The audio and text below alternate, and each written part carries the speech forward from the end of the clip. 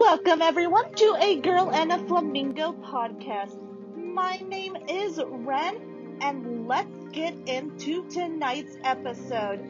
Where else are you going to be talking about Orlando and Skunk Ape? Lights that follow your car at night, a chair that you sit in at midnight that you can talk to the devil, and a cursed strip of I 4 that is said to bring misery to those that travel down it. Are y'all ready? Join me and let's start the episode.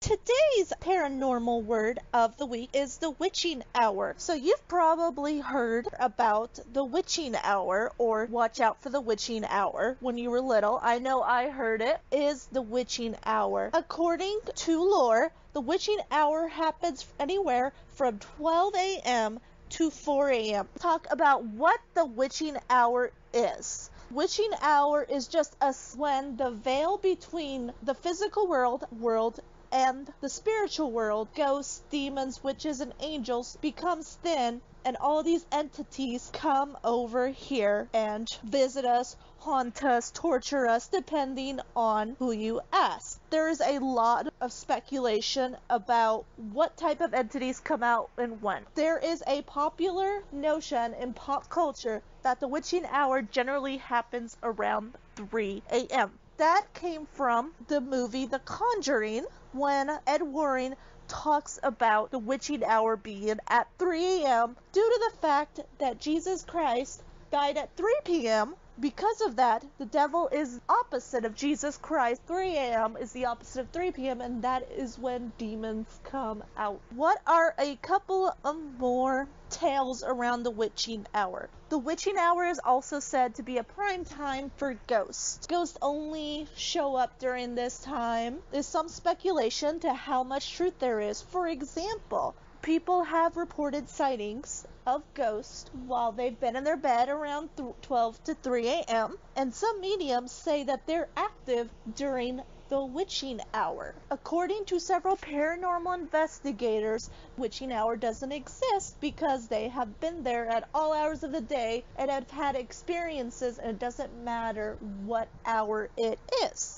Also, the witching hour is when witches are able to get their conjuring and their magic use more effectively. Does the witching hour exist? Is it lore? Several paranormal investigators have said the only reason there is a lore of a witching hour is because it's when most of us are asleep. When we wake up, we think we see that shadow at the end of the bed looking out at us. Or if you unfortunately have sleep paralysis, will see things you normally wouldn't see because sleep paralysis kind of mess with our brains. So reports of ghosts, bump in the night. Does the hour exist? I'll leave that up to you to decide. Okay, y'all, are you ready? We're gonna be getting started on tonight's topic. We're gonna be talking about the folklore around the Orlando area. Okay, let's get into today's episode. So, as I said earlier, this episode is about a couple of folklore famous around the Orlando area. Tonight, I am going to be talking about four of those legends that are known around here or well known around here. First one I want to talk about is the Skunk Ape. The Skunk Ape is said to be Florida's own version of Bigfoot. Where does the story come from, though? It turns out Skunk Ape does have some roots in history. Back in 1977, there was a report of someone having a run in with a large half man, half ape creature, or as Weird US calls it in their article, a type of humanoid. Skunk ape has its roots come from the Kissimmee area. It Turns out the skunk ape legend goes back to early Native American legends. The Native American legends speak of giants living along the Kissimmee River, the Sand people, and the Mangrove people. These legends were said to the reports were similar later uh, reports of skunk ape. Are the skunk apes real? Let's move up a little bit to 1935 But workers were excavating around a Native American mound, earthed a human thigh bone that was as long as a man's whole leg. There was several footprints that were huge, larger than an average human foot that were found on this archaeological dig. Now, someone could say this was probably way back when, before Native Americans settled here, before Spaniards came along. Let's go back to that 1971 when people reported seeing this humanoid. Probably think, okay, they're trippy, they were on something, but there have been several encounters as different people have stated seen something a skunk ape or a half man, half ape or a woolly, hairy human. Let's talk about a 1997 filmed interview from Paul Smith, and it was located in New Smyrna. He was hanging out one morning after sunrise when he said that he saw a big human-like beast. He turned. He immediately was turning his pickup around when on the dirt road. Uh, the creature appeared in the headlights. He explained that it was very big, had long hair, gray hair, and it wasn't anything remotely resembling a bear. Could, said he could see its face, only the middle part of his body. Described the skunk ape smell as something rotten cabbage, so bad that he almost gagged and almost vomited. That bad, y'all. Oh, can you imagine running into something that looks human and smells? Oh my gosh, I would be so scared right there, and the smell alone would have made me run for the hills. What makes Paul's story unique compared to everyone else who has said that they've had an encounter with a skunk ape?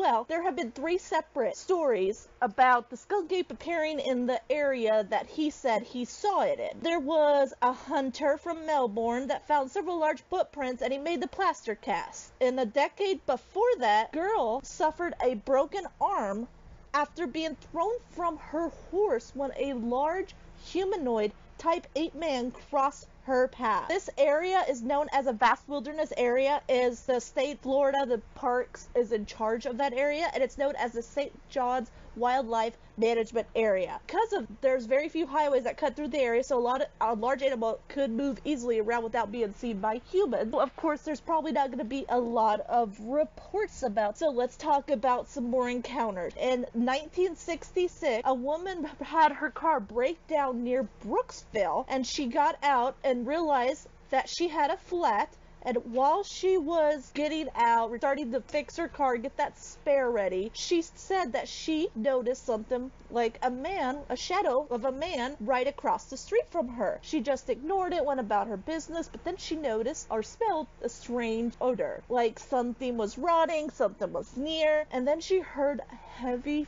footsteps on the opposite side of the road and she turned around and to her horror she saw a seven foot tall, ape like creature. As she described it, a human like creature with shaggy dark fur. Of course, as she finished quickly and got out of there, but it was a horror story. Let's talk about February of 1971 when five archaeologists excavating a Native American mound in the Big Cypress Swamp reported some type of beast had crashed into their camp in the middle of the night and wrecked their campground before running off into the swampland. The reports are saying it's a large biped primate, and I am reading off the site here because there is no other way to describe it other than what the reports say. Large biped primate did not have it to be at seven to eight feet tall and almost 700 pounds, and he was covered with white fur. Let us talk about that last uh, last story that will send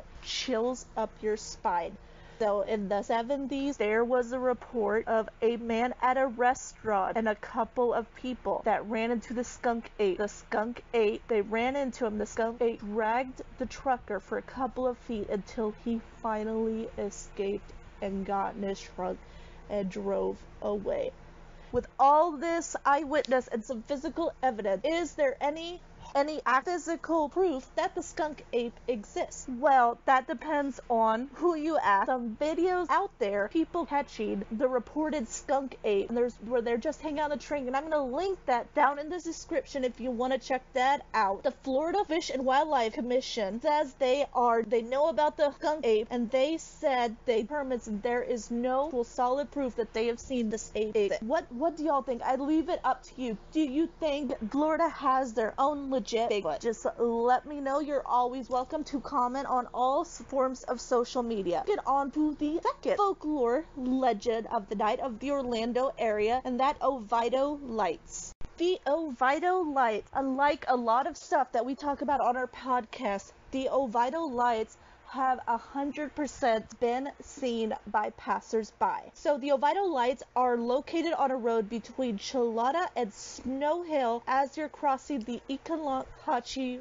River Bridge. What makes these lights so unique is like I said, they are, people have seen them, there been reports of these eerie lights to chase your cars while you're on the bridge. What makes these unique is they are actually a phenomenon and scientists have studied them have said they're nothing more than swamp gas comes off of the swamp during the warm summer night. Before any of you say, well, it could be ghosts, the only reports of the Oviedo light have been reported during the summer months, which gives credence to different scientists have said about these lights. There are, let's talk about some of the reports where people have said that these cannot be swamp lights because they chase your car. Swamp gas does not chase, it just goes up and rises into an air. It kind of looks like an eerie, otherworldly glow while it just dissipates off into that air. There have been reports sometimes with these lights, there'll come these ghostly apparitions, wailing, screaming, crying, run of the mill textbook stories that you'll hear about hauntings of bridge. There's also once person said that there was such a bad haunting and such a loud wailing, a ghostly welling and lights that the river ran backwards with the light right after it happened. This spot is popular with the teenagers of the area to go and try to have a little dates, you know, catch the lights, just do that teenage fun, thrill seeking thing that we all do when we're in high school. We go to the nearest haunt of the area. Like a lot of the legends we've talked about here, the Oviedo Lights do not have any particular story or history behind them. There is no Native American lore. There is no one that died a violent death. There is nothing would suggest, even paranormal, paranormal investigators would suggest would constitute an a haunt. Is it haunted? Probably not, but it's a cool urban legend. And if you're ever up there, I'd highly recommend going there to get some pictures because it, it is hauntingly beautiful. Okay, so that was a very short legend. Next up, we're going to talk about something a little more intense known as the Devil's Chair. The Devil's Chair is located in Cassadaga, Florida. And this chair is, hold on one second here, is located a mile up the road in Lake Helen Cemetery. This chair is very common. A lot of people go there during Halloween when the teenagers dare each other to sit in the chair. Now, the lore around this is if you sit in the chair around midnight, the devil will come and talk to you.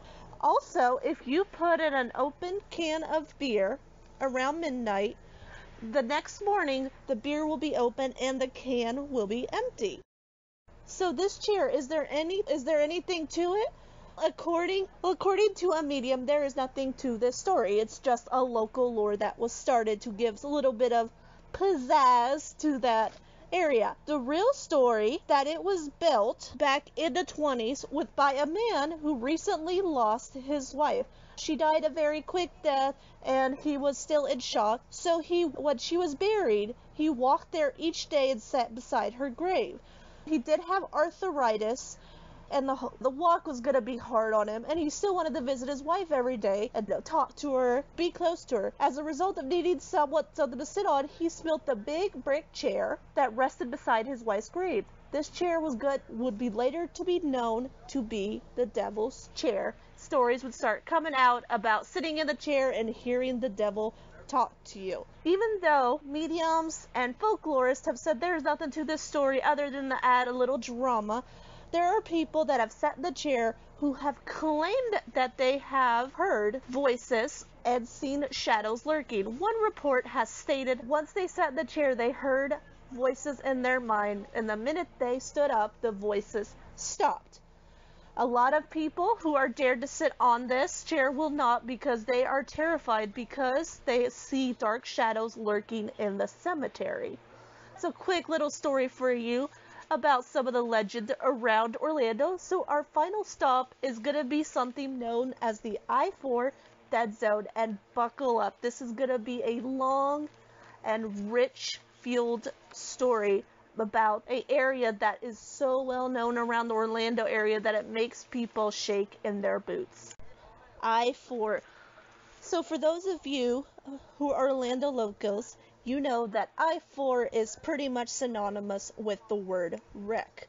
In fact, at one point and at one point in the last couple of years, I 4 was one of the deadliest roads or deadliest interstates in the United States and that is that is quite a title for a interstate that runs from Tampa to Daytona and runs through the central Florida area. So what could make this road even more deadly? Well, as it there is a notorious section of I-4 that has been dubbed the I 4 Dead Zone. 4 Dead Zone is halfway between Daytona and Orlando, Florida. It is a bridge that crosses the St. Johns River, and there is such a eerie story below the bridge that it has sparked so much stories around it and so much fear that a lot of people do not even venture down it when they're going to Daytona let's talk about the legend that surrounds it because it un- there's a lot of history that surrounds this area. Let's go back in time to 1870s when that area was part of a land grant owned by Henry Sanford, who was the head of the Florida Land and Colonization Company. So in 1886, a small railroad station was built and the area was platted into parcels of land in order to start a small Roman Catholic colony called St. Joseph's. Sanford Sanford, who ironically the town of Sanford is named after, but let's get back into the story. He believed that he could unload some real estate that attracted the German immigrants to this small St. Joseph's colony. He did appoint a Catholic priest that oversaw the entire settlement. Unfortunately, his plans to build a small, medium sized community were a little bit in vain when only four immigrant families settled in the St. John's area. St. Joseph's never, no, was fulfilled the way Sanford wanted it to. So in 1887, very shortly after St. Joseph started, there was an outbreak of yellow fever that wiped out all members of a family. So there were four people in that family and they all died from the yellow fever. There was fear in that community that the yellow fever was going to be contagious, so the bodies were taken and buried in the woods nearby. The priest was called to Tampa shortly afterwards so he could you know, do ministry with the yellow fever victims over there. But shortly after he moved to Tampa, he died of the yellow fever and he never made it back to St. Joseph's. After he died, because he was one of the only people that knew where the graves were. With his death, the unknown of those graves was taken with him. In 1890, the little community of St. Joseph evolved into a small town known as Lake Monroe that was named for the local lake in the area. The land that had the grave sites on them was purchased by a farmer named D.V. Warren. He cleared the entire for farming. While he was clearing the land, he found these four small graves and he decided to farm around them, thereby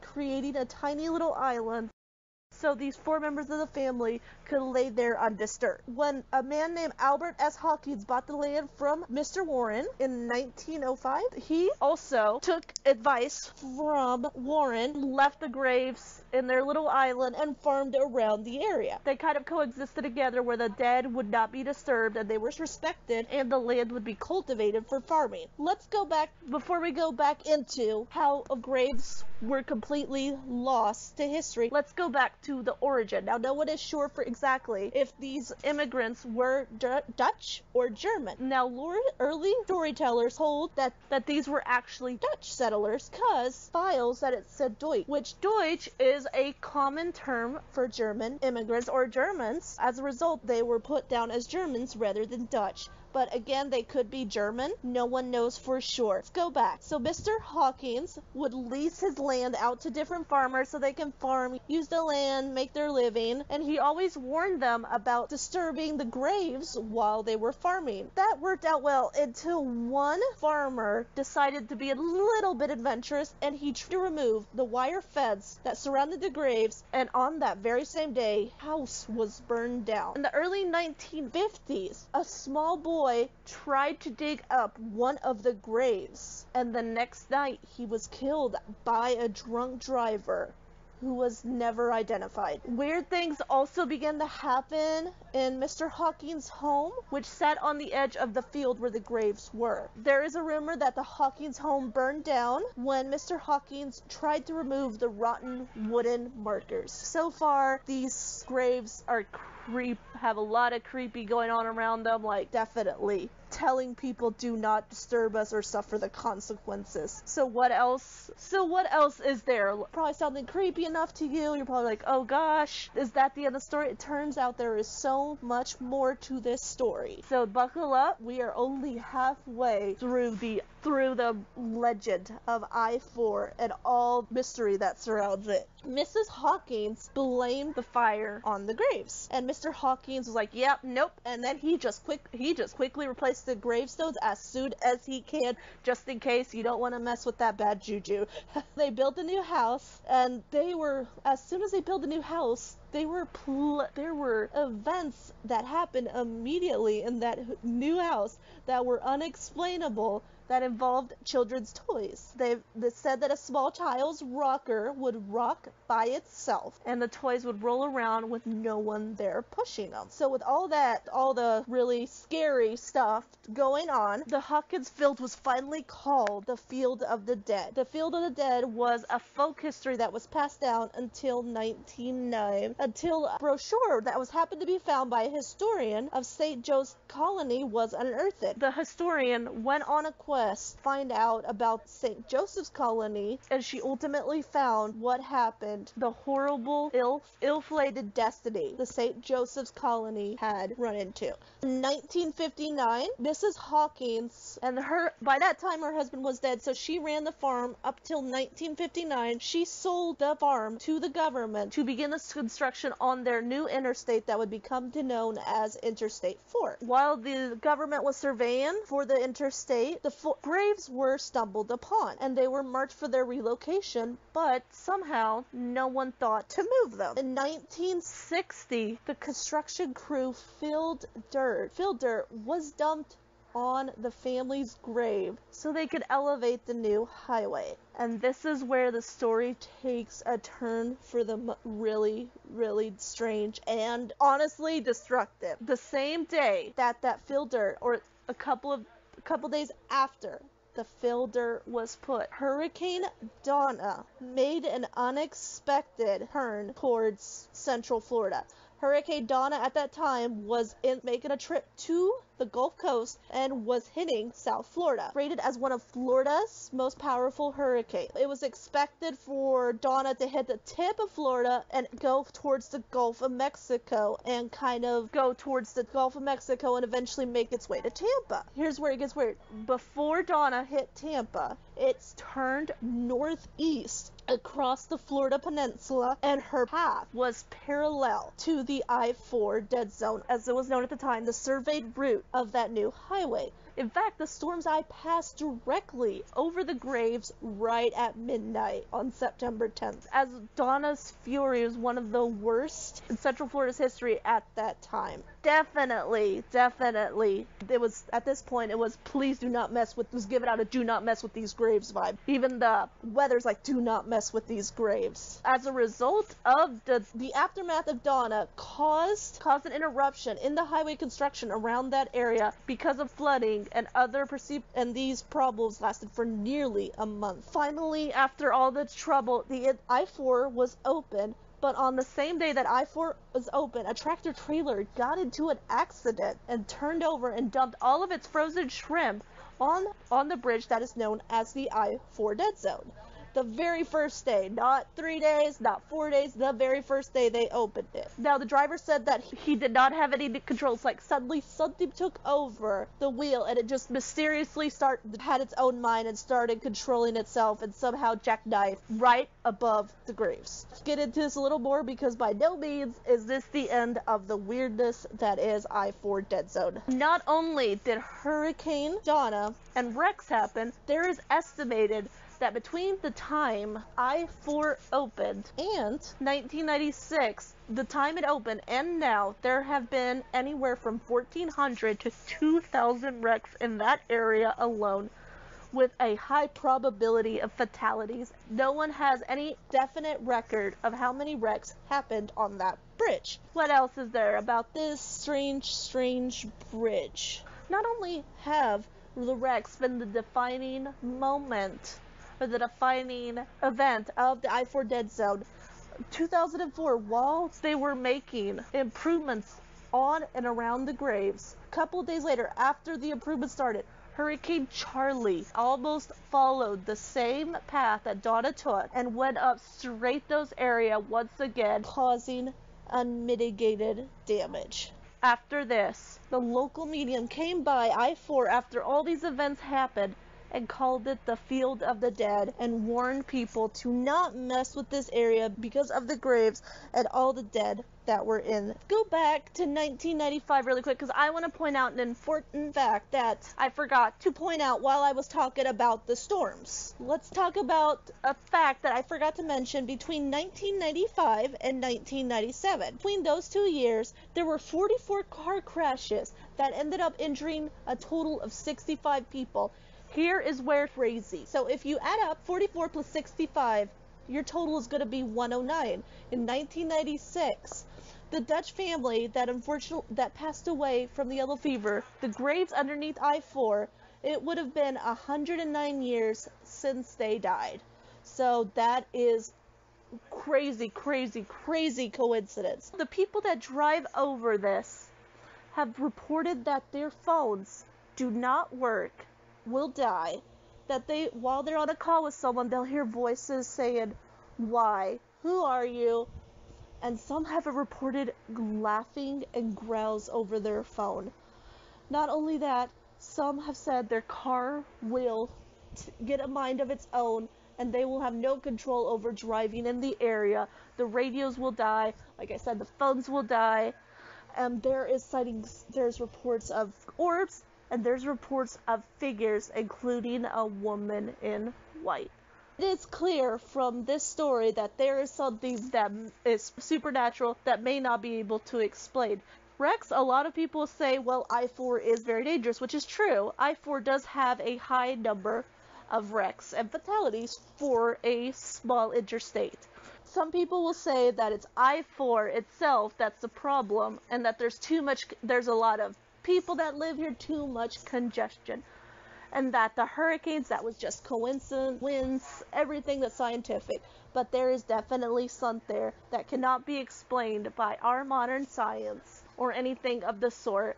And if anyone were to read the signs, it would be clear that some theme or someone is telling the state of Florida and the people and the citizens of Florida to not tamper with those graves and to stay away and let them rest in peace. If this is just a lore, this is a cautionary tale of what happens when a government becomes overpopulated and starts overdeveloping land that should be left alone, such as our beautiful nature, a beautiful forest, and people's graves, which unfortunately throughout the United States they do build on grave sites, which is an unfortunate of overdevelopment and needs to be looked into.